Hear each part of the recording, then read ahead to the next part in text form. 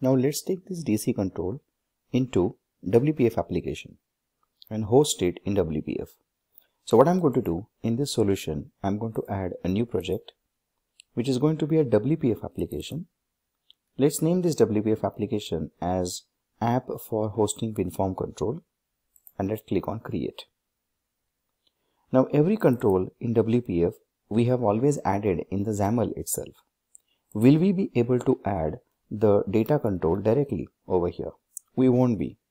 The reason behind that this schema for WPF controls, it doesn't know what exactly data control is and from where to refer it.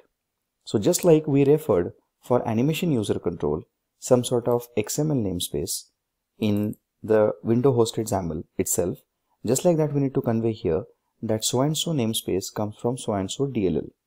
So for doing that what I have to do first is I'll have to add a reference to Windows Forms application. So I'm going to add a reference to our DC control library. So by default in the current project's solution itself we have one library called as data control library. Either you refer it from the project solution itself or you can simply browse and refer the DLL path. I'm going to click on OK now. And now you will see the data control library is added into the WPF application. So I'm going to set this as startup project. By default, only library is added, nothing else as of now. So we have got certain references and one analyzer here. So all in all, we have components added over here. So now what we need to do is just like we used element host for hosting WPF control into Windows form. Now it's a reverse thing. So we are going to host WinForm control into WPF. Rendering logic for WinForm is different and rendering logic for WPF is different. So just like element host, when you take your window form control into WPF, what you have to do is you will have to have another container over here. Now that container is going to be Windows host container. So you can't have your DC control directly added in window or a grid or a stack panel. For that purpose, what you have to do is you have to make a provision for hosting that control. And that is something which you will find out in common controls here.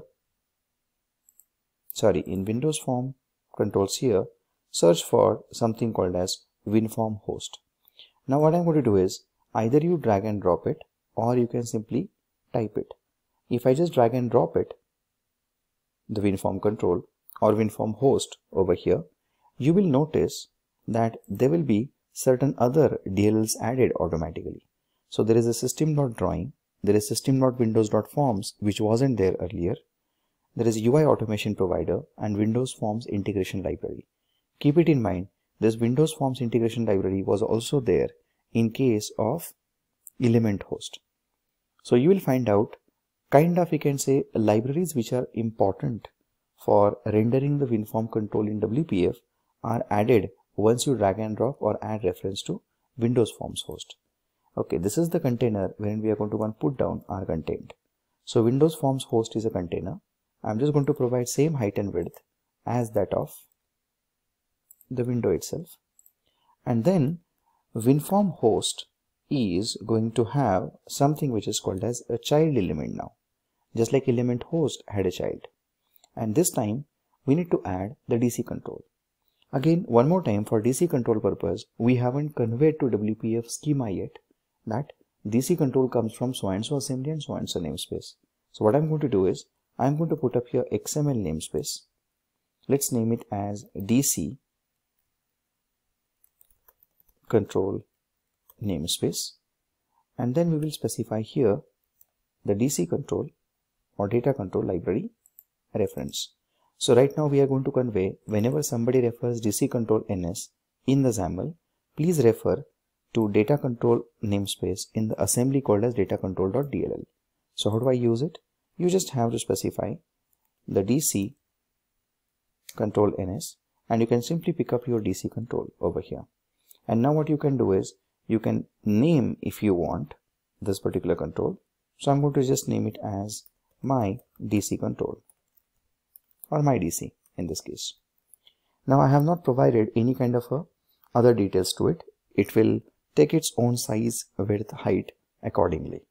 So now that I have added a window form control into WPF using WinForm host, I'm going to run this WPF application just to show you that how easy it is to host existing WinForm control into WPF. So let's run this project now and see whether we get the data and the grid.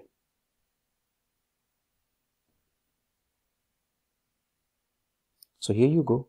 This is kind of WPF application which is hosting a WinForm control and right now we can see the data that we added some time back into the UI. So it's very easy to deal with interoperability between WinForm and WPF.